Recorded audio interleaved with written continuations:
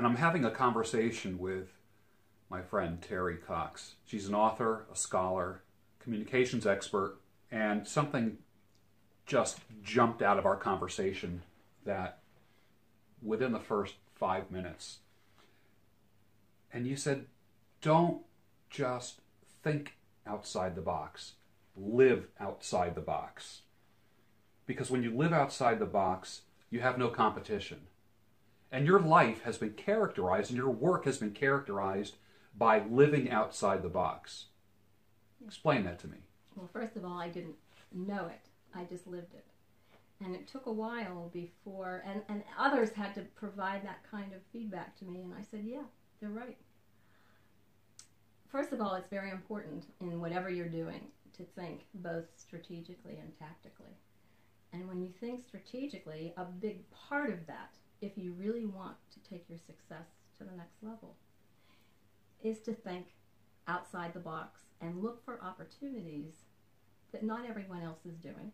It really helps to kind of get out of your own thoughts, get out of self defeating thinking, do things that are different than what you usually do, kind of create new neural pathways. Absolutely. Get out of your get out of your comfort zone.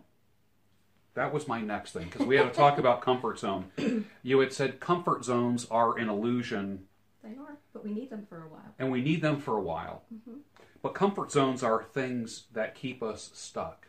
Right. How does a person get out of a comfort zone? Because I'm known for saying that everything that you want is outside your comfort zone. And I also remember you when you yourself were going were evolving and for a little while you were stuck and we talked about that. Yes. And how you were working towards yes. getting out yes. outside of that, that position. Yeah. Because it was uncomfortable. Well first of all, the first thing is if you have to be uncomfortable being in your comfort zone. What I mean, and it seems like a paradox, but what I mean is, is that it can't. If it's no longer satisfying, and you're saying, "This, I'm just doing this," I mean, but it's not taking me where I want to go. Hmm.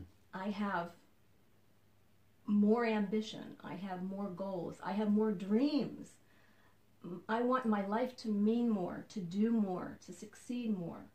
The only way you can do that is to get outside of that. Mm-hmm. And it's uncomfortable for a while. Yeah. I know. I've been there. So um, I, you know, I I lived outside the box, and I was I had a self-designed life, and I'm still working on that. I mean, we're all works in progress, and that's part of the beauty of all of this. Is I don't see you slowing down at all.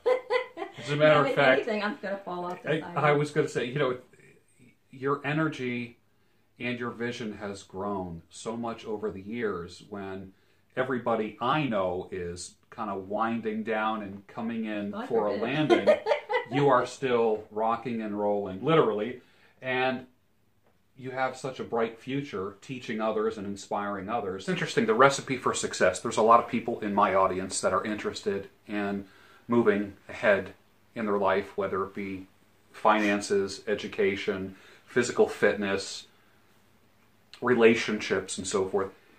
How does a person make the first step out of their comfort zone? First step, first of all, is when I say give yourself quiet time and space to visualize your dreams and to think about what you, some of the things, some of the goals you really want. Don't limit yourself. Be creative. Focus on your individuality and what really turns you on and gives you joy. And then think about if you had no limits, no restrictions, no self imposed limitations in your head, what would that ideal life look like? Okay. And begin, and when you think about these things, jot them down. Start taking notes. And, and just let your brain, let your have a journal of some type. Absolutely, have and have it. It comes from the heart and from your. It's really a spiritual path, and your intuitive wisdom that's already knows you better than you think you know yourself. Uh, listen to it let it guide you. And as it does, you'll begin to manifest a clearer picture of what's next. Okay, and then once you have some idea of what might be next on your path and what you'd like to be next on your path, we have this wonderful tool called the internet. And so many experts in so many areas like People don't come up with an overall strategy for success, for their life, for their goals, for education, for weight loss, for fitness, for relationships.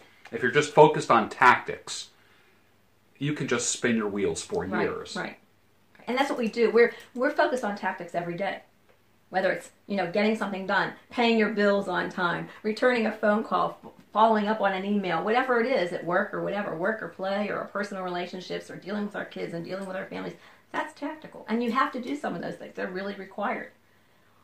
But when you're thinking strategically, and when I say outside of the box, but you really are thinking big picture and more long term, you really, when you have that vision and it's clear, then some of the steps along the way also become more clear.